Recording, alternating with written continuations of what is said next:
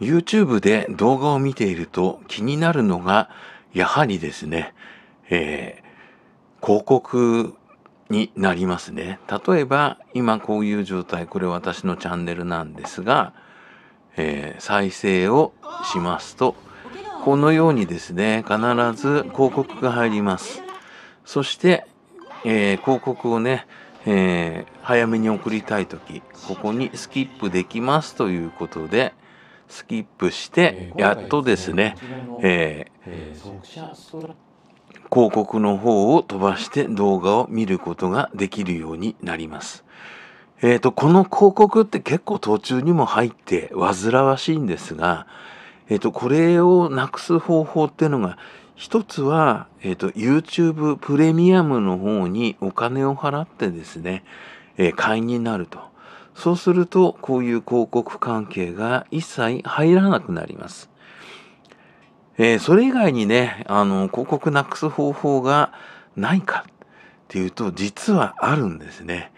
えー、私今ね、えっ、ー、と、ここの画面、Google Chrome を使って見ているんですが、Google Chrome を使うとですね、えっ、と、YouTube の広告を表示しないようにすることができます。えそれをですね、これから解説したいと思います。Google Chrome にはですね、拡張機能というのがあるんですね。えっ、ー、と、ここのところ、クリックして、えー、その他のツールのところに、ここですね、拡張機能というのがあるので、これをクリックします。そうすると、ここに拡張機能、今入っているやつが表示されているんですが、ここに拡張機能を追加してやります。アドブロック for YouTube という拡張機能の方を、えー、追加してやりたいと思います。その方法なんですが、えーと、ここですね、クリックすると、一番下のところ、えー、Chrome Web Store を開きますというのがあるので、これをクリックします。そうすると、Chrome Web Store というのを開きますので、ここですね。えー、ここに AdBlock for YouTube というふうにですね、えー、入力して検索をかけます。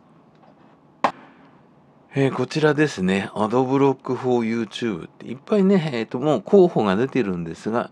これで検索をかけてやります。えー、そうするとですね、えー、アドブロック for YouTube 2つ出てきましたね。えっ、ー、と、これ、えっ、ー、と、私はこちら下の方を入れました。えっ、と、どちらでも大丈夫なのかなというふうに思いますが、えっ、と、真ん中のものを私は使いました。えこれクリックするとですね、ここに Chrome に追加というふうに出てきますので、この Chrome に追加をクリックします。えー、ここにですね、AdBlock for YouTube、YouTube の広告ブロックを追加しますかというふうに出てくるので、えー、拡張機能を追加、これをクリックします。えーと、そうするとね、ここに、えー、AdBlock for YouTube が Chrome に追加されましたということで、えーと、ここにこのように出てきました。えー、YouTube の方に戻ってですね、えー、こちらの方ですね、えー、再生してみると、もう広告入らずに、え再生の方が始まりますね。え他のやつも同じです。こちらの方もやはり最初の広告入んないですね。えこのようにですね、えー、広告の方がブロックされます。で、それともう一つですね、えっ、ー、と、YouTube のホーム画面の方をこのように見ますね。そうすると、今ここにね、あの、広告がついた動画が入ってるんですが、えっ、ー、と、それもブロックされているので、白くなって見えなくなっています。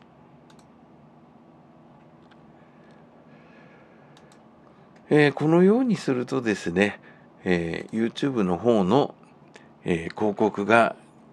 えーと、今のように周りにあるものもブロックされますし、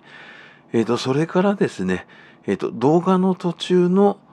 えー、広告の方もね、えー、出なくなります。えー、ですからで動画見てる時に広告に移って、えーと、スキップの操作するしないと結構な時間こう広告が流れるんですよね。えーと、そういうそれの時にするスキップしたりする手間も省けるので大変便利なんじゃないかなというふうに思います。えー、もっともねこの、えー、アドブロック for YouTube なんですが機能を停止することも削除することもできます。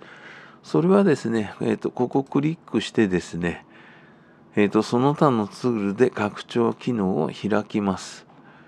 そうするとですね、ここにありますね、えー、AdBlock for YouTube。ここをクリックすれば削除されますし、それからこれ、こっちにするとこれオフなんで、えっ、ー、と、これ、広告、この広告ブロッカーは、えっ、ー、と、もうこれで聞いていないです。ですから、これで先ほどのね、私のページの方の、えー、他のものをですね、こう見るとですね、はい。今度は最初にコマーシャルが入りましたよね。えっ、ー、と、このようにですね、えー、なるというわけです。だから必要に応じてですね、えー、これがえっと、このね、拡張機能が邪魔してて、えー、何か見たいものが見られない場合は、これをオフにするのも、ここで簡単に行うことができます。非常に便利なので、使ってみるといいかなというふうに思います。なおね、これ、あの、実は、えっと、Chrome の拡張機能って、あの、アンドロイド端末でも使えるんですね。えっと、アンドロイドのクロームにはもう拡張機能を使う、えー、ところがないんですが、えっと、キウイブラウザっていうのが Chrome 互換で、これがまだ拡張機能を使えます。だから、アンドロイドでもやはりです、このような広告を、ブロックをすることが可能になっています。なお、この方法は、2023年2月現在で有効な方法であり、えっと、後にですね、広告ブロックできなくなる場合もあります。えー、そうなった場合ですね、えっと、またブロックの方法が分かったら動画をアップしたいと思います。今回の解説はこれで終わります。